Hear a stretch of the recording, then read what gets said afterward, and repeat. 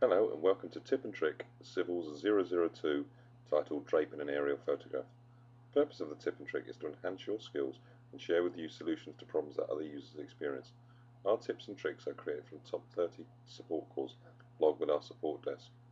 If you require more information about our support desk, then please contact customer services on 01784 419 911 or email customer.services at cadline.co.uk. All of our tips and tricks can be found on our website www.cadline.co.uk. Please remember that we are issuing tips and tricks for all Autodesk products as well as the one you're about to watch.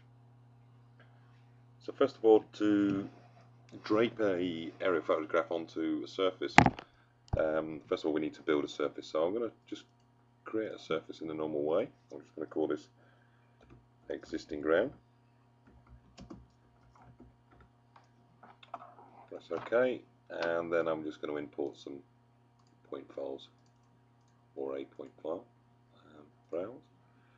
Got some point files that have got OS data with them so they're in the right place. And there we have a triangulated surface created very very quickly. What I'm just going to quickly do is just tidy up this the surface um, and just get rid of some of the, uh, the larger triangles. And delete line use the C enters a crossing window.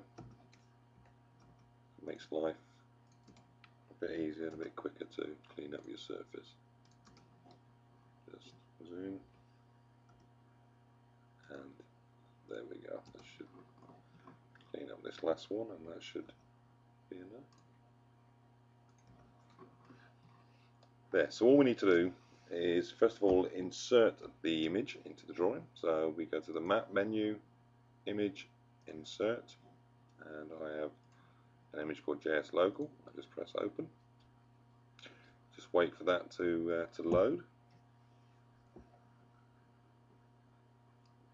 Depending on the, um, the size of the map it will just take a bit longer to load. You can see that there's an image correlation box that's just uh, appeared.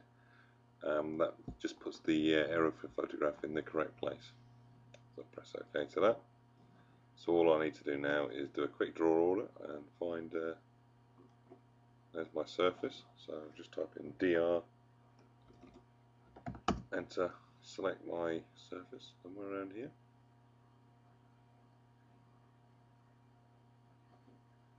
There it is. Enter move that to the front. So there we've got our surface.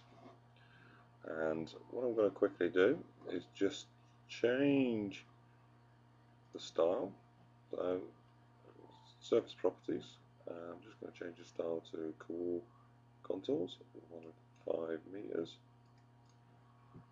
And the next thing I need to do is just go to the surface menu utilities utilities drape image. That's the image I've inserted. That's my surface I want to put it on. Press OK and that's done. Now straight away you won't see nothing appears to have happened but if we go to select the surface and go to object viewer wait for that to to happen.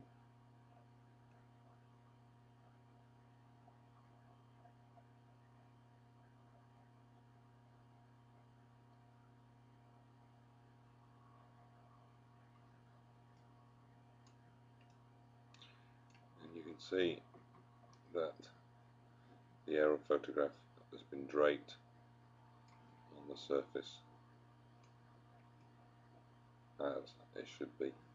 Now that will even drape it if I change the style to an exaggerated style even five times uh, apply that okay and if I put that in object viewer this will take some time to, to load but uh, you'll see that even with, it, even with it being exaggerated, the surface being exaggerated, the uh, the map has been draped over pretty much like a blanket over the top, so it uh, it will um, follow the contours and follow the exaggeration.